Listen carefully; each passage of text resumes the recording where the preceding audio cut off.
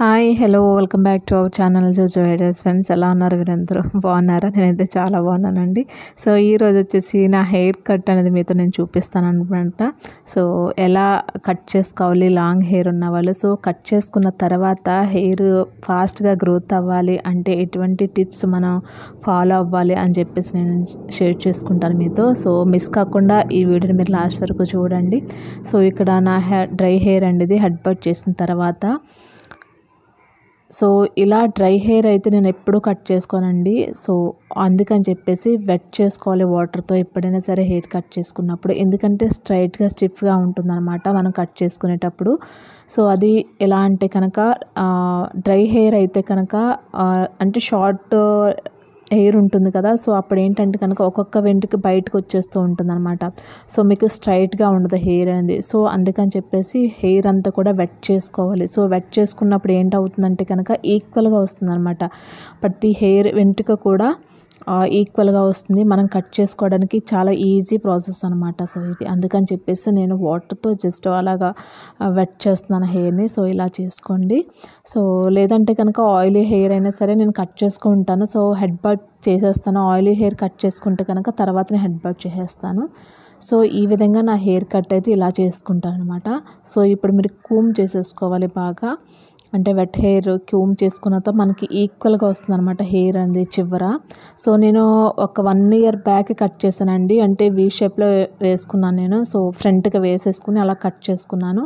So మీరు చూసినట్లయితే చాలా వాటిలో కూడా నా ఫోటో అనేది పెట్టాను వీడియోస్లో సో అప్పటికి ఇప్పటికి నా హెయిర్ అయితే చాలా అంటే చాలా గ్రోత్ అయిందనమాట సో ఎందుకంటే నేను హెయిర్ కట్ చేసిన తర్వాత చాలా కొంచెం ఇంపార్టెన్స్ కొంచెం జాగ్రత్త తీసుకుంటాను హెయిర్కి. లేదంటే ఇంకా హెయిర్ అనేది లాస్ అవుతుంది.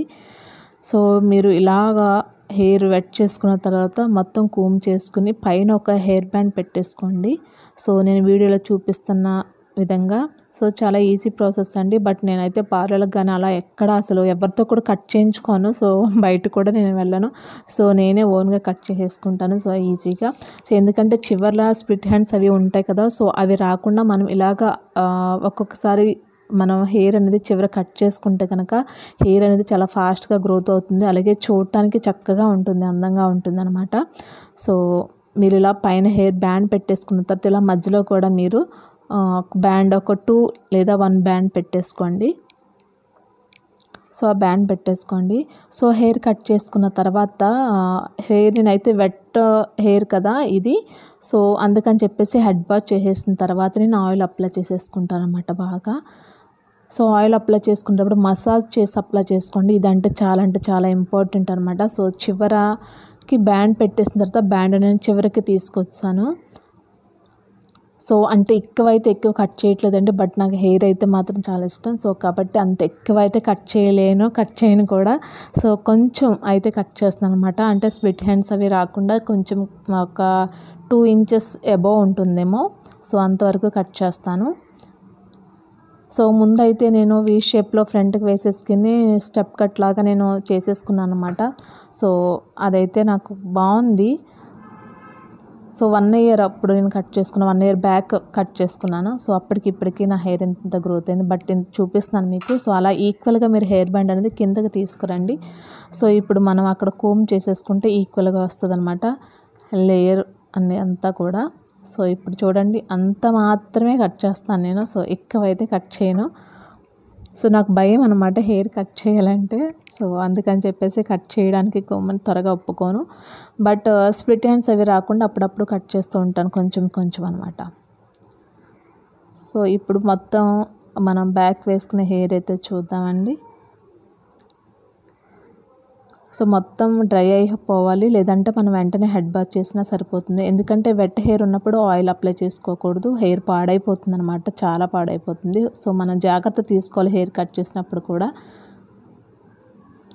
సో హెయిర్ కట్ చేసిన తర్వాత అనమాట ఈక్వల్గానే వచ్చింది అనుకుంటున్నాను నేను. చాలా ఈక్వల్గానే వచ్చింది. నా ఓన్గా నేను కట్ చేసుకుంటానండి హెయిర్ అనేది. సో మీరు కూడా ఇంటున్న చక్కగా ఇలా ఈజీగా కట్ చేసేసుకోవచ్చు. సో నేను హెయిర్ కట్ చేసుకున్న తర్వాత నేను చెప్పే ప్యాక్స్ కానీ అలాగే ఆయిల్స్ కానీ అప్లై చేసుకోండి. చాలా అంటే చాలా ఫాస్ట్గా గ్రోత్ అవుతుంది అనమాట హెయిర్ అనేది. సో నేను మందార తైలం ఆయిల్ అనేది ప్రిపేర్ చేస్తాను కదా. మీకు కావాలంటే ఎండ్ కార్డులు ఇస్తాను ఆ వీడియో అనేది. సో చూడండి ఒకసారి. సో ఈజీగా గ్రోత్ అవుతుంది అనమాట సో అలాగే వచ్చేసి ఆలివ్ ఆయిల్ కోకోనట్ ఆయిల్ అలాగే వచ్చేసి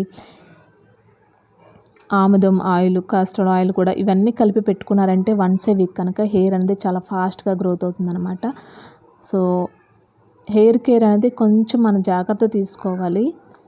సో కొంచెం కేర్ తీసుకుంటే హెయిర్ అనేది చాలా ఈజీగా ఫాస్ట్గా గ్రోత్ అవుతుంది. సో హెయిర్ లెంత్ అయితే ఇక్కడికి ఉంది అనమాట కట్ చేసిన తర్వాత సో చూద్దాం ఎంత ఫాస్ట్గా గ్రోత్ అవుతుందో. చూపిస్తాను మళ్ళీ మీకు నేను.